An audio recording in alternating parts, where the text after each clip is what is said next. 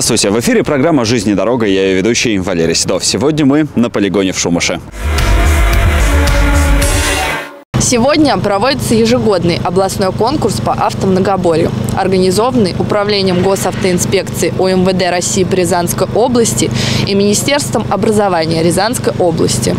Этот конкурс подразумевает несколько испытаний, такие как знание правил дорожного движения, оказание первой помощи, замена колеса, фигурное вождение. В данном конкурсе участвуют молодые люди в возрасте с 14 до 17 лет.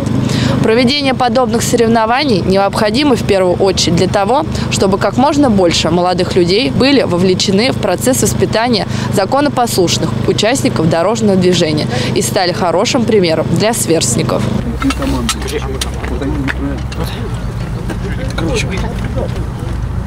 Колесо.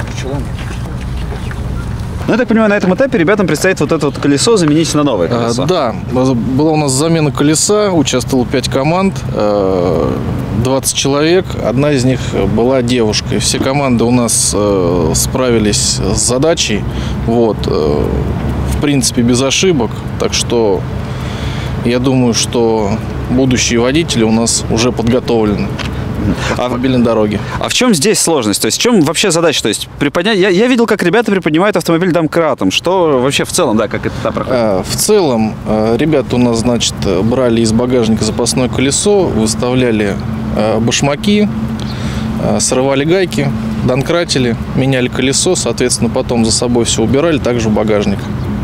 А, были какие-то вот ограничения по времени, за сколько они должны это были сделать? Да, они должны э, в течение пяти минут должны были все это сделать, но все команды уложились, вот, э, справились с задачей до указанного времени. Штрафные баллы были ли и за что давали? А, Да, у нас одна из команд забыла, вы- выставила один башмак, а, вот, второй выставлять не стали. И также вот ребята немножко неправильно затянули болты, то есть поставили криво колесо. Вот. А так, в принципе, преподаватель с ними занимались хорошо. В принципе, ошибок грубых больше не было. Ну и, я думаю, вопрос, который интересует всех мужчин-водителей, как справилась девушка с этим испытанием? Э, Девушка справилась замечательно, только команде я сказал, что девушка должна была стоять и смотреть, а ребята менять колесо. А так молодцы. А получилось все наоборот. Ребята отправили славы полную замену коли- колеса, да, получается? Ну, можно сказать и так.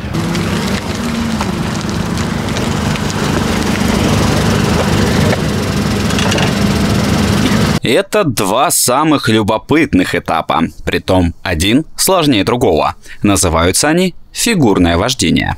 На данном этапе оценивается скорость прохождения выполнения элементов разнообразных, да, таких как змейка, параллельная парковка, заезд в бокс с задним ходом, вот, круговое движение.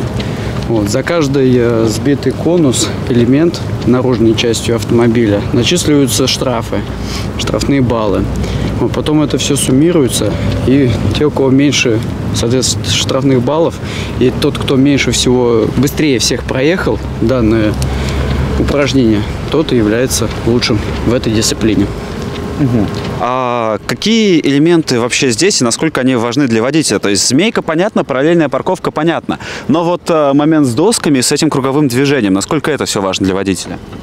А, Получается, тут мы, э, когда вот э, эти доски да, лежат, это так называемое упражнение колея, то есть водитель должен пропустить одной стороной своего автомобиля колесом между ними, да, проехать.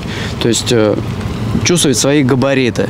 И также вот это круговое движение э, часто сталкиваемся на, скажем так, в реальных условиях с круговым движением и где нужно развернуться, тоже как бы почувствовать свои габариты, как насколько автомобиль э, маневрен в данной ситуации.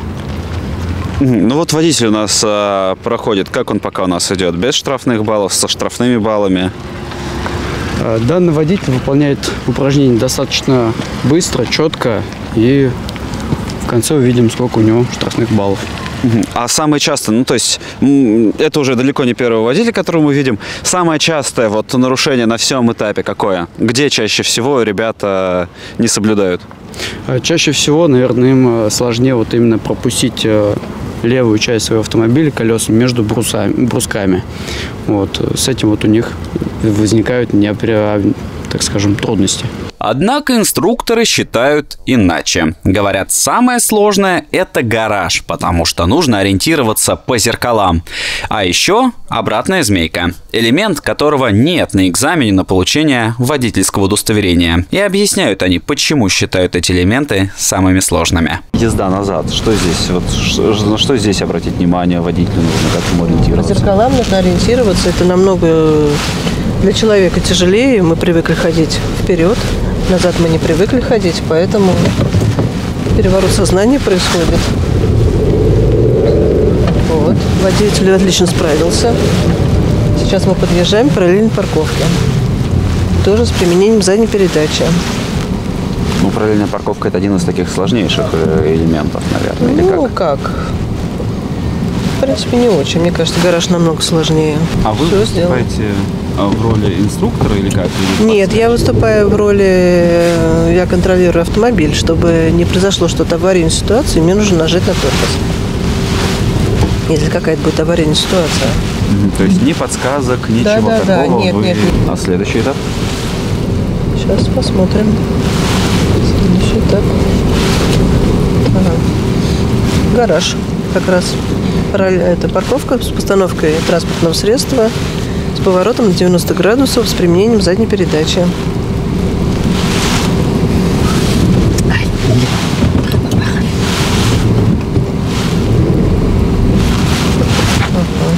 А это второй этап фигурного вождения, что называется для виртуозов. Штрафы здесь те же, однако испытания куда сложнее. Этот этап у нас отличается от того этапа, что здесь нужно водителю делать.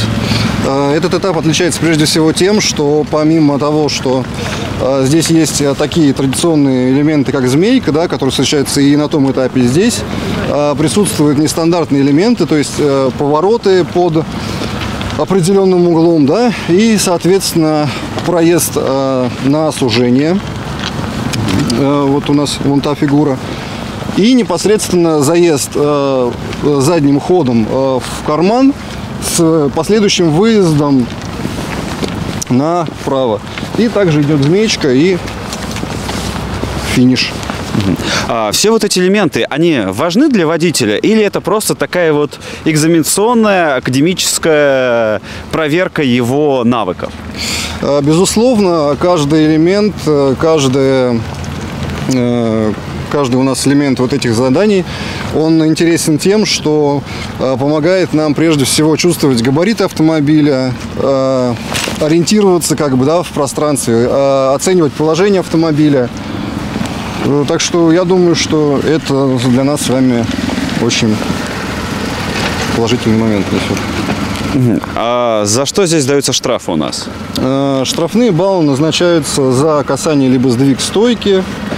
Это э, остановка, то есть как бы все элементы у нас желательно выполнять без остановки транспортного средства. Также, если у нас используются какие-либо переговорные устройства, то бишь там Bluetooth наушники, либо еще какие-то средства, то есть, соответственно, это тоже штрафным баллом наказывается. Ну и движение без разрешения судьи, это тоже. Так, а как это работает? То есть у участника есть какой-то стек баллов, который он тратит э, в ходе или пытается сохранить в ходе выполнения испытания, или наоборот, он начинает с нуля и задача с этим нулем остаться? Совершенно верно, вы правильно сказали. Он начинает с нуля, и впоследствии как бы идет оценка э, правильности прохождения трассы и, соответственно, время. Если э, у нас по времени все укладывается, участок вот данный этап, э, этап нестандарт, выделяется на данный участок 10 минут времени. То есть, если все, что выше 10 минут, то участник снимается соревнования, он считается как не прошедшим данный этап. Соответственно, как еще вопрос задали? Ну, в общем, цель ясна, да. Да-да, что подошел. Не-не-не, я просто еще хотел дополнить и Ой, ой, ой, ой, ой, ой. Это у нас конус сейчас под колесами автомобиля. Да, а возвращаясь к теме э, да, баллов, которые есть у участника, ему важно, я так понимаю, и при нуле баллов остаться, и... А он его до сих... А, нет, вот, конус выжил. А он должен этот ноль сохранить или ему... аккуратно отойдите, сейчас, наверное, назад поедет. А ему нужно этот ноль сохранить или и, и при хорошем времени пройти, так? Правильно получается? Э, Да, безусловно, хорошее время и плюс не допускать ошибок, то есть не сбивать конуса, не делать без команды судьи каких-либо движений, заводить машину, трогаться с места, переставлять ее. То есть все делается по команде и в рамках того, в рамках правил тех, что нам предписано положением конкурса. Ой, я так понимаю, сейчас мы еще один конус сомнем. Ну, ну, нужно сделать акцент, как бы понятно, что это все фиксируется в протоколе, да, соревнований, но нужно сделать акцент на том, что все-таки это дети, да, это несовершеннолетние, как бы. Ну, неопытные да. водители, да. То есть, как бы, Ошибки допускаются? Ну, могут быть. ошибки могут быть у всех, все мы люди, все мы ошибаемся. Так, а есть какое-то супер эталонное время, супер эталонный участник, который все прошел? Был такое, что все без ошибок? э, был какой-то человек, который прошел без ошибок? Или пока это легенда? Смотрите, на данный момент э, у нас э, каждый участник э, допустил какую-либо ошибку. Будет ли такой участник, который не допустит ни одной ошибки, мы с вами узнаем в конце соревнования. Самое частое нарушение на всем этапе, на всех этапах, какое, где чаще всего ребят нарушают? Самое частое это сдвиг конуса, либо касание конуса. К сожалению, это самый основной. А на каком элементе? На каком элементе конус, на каком элементе конусы страдают больше всего? Э, Я думаю, что вот на данном этапе, то есть это у нас въезд в карман, вот именно на нем при движении задним ходом э, немножечко ребята теряют габариты и не вписываются, к сожалению. Автомногоборье – конкурс для Рязани традиционный. Ежегодно юные водители, возраст которых от 15 до 17 лет, демонстрируют свои умения и навыки в знаниях правил дорожного движения и оказания первой медицинской помощи, а также в замене колеса и фигурном вождении. Еще до начала соревнований команды присылали творческие мотивационные эссе и яркие видеоролики. В состав жюри традиционно входят представители Госавтоинспекции Рязанской области и лаборатории безопасности. Проведение подобных соревнований необходимо для того, чтобы как можно больше молодых людей были вовлечены в процесс воспитания законопослушных участников дорожного движения и стали хорошим примером для сверстников. А еще это отборочный региональный этап. Команда победителя отправится на всероссийские соревнования. Это была программа «Жизнь и дорога». Не переключайтесь, дальше будет еще интереснее.